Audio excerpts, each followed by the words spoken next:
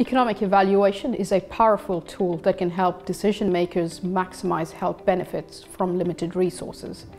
This course provides a strong foundation to the methods and use of economic evaluation in healthcare decision making.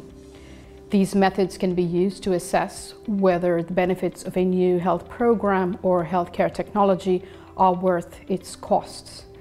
The course covers conceptual principles underlying healthcare economic evaluations, the design and analysis of models, costing methods and approaches to measuring and valuing health state preferences.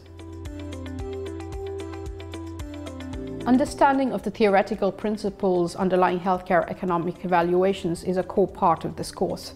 Students will be able to build and analyze models and apply statistical methods to deal with uncertainty in these models. This is a highly interactive and hands-on course. Lectures are supplemented by computer lab-based exercises focusing on the development and implementation of decision analytical models.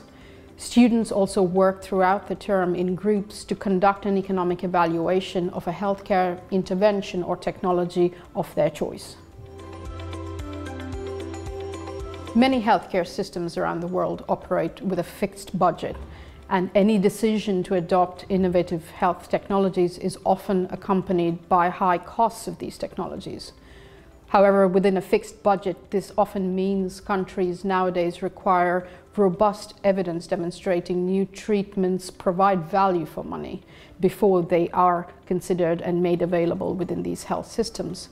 Economic evaluation is a structured tool to estimate the costs and health gains of alternate interventions. Um, it provides a method for prioritizing the allocation of limited resources within these health systems and to identify which healthcare interventions have the potential to yield the maximum health benefit given the least resources.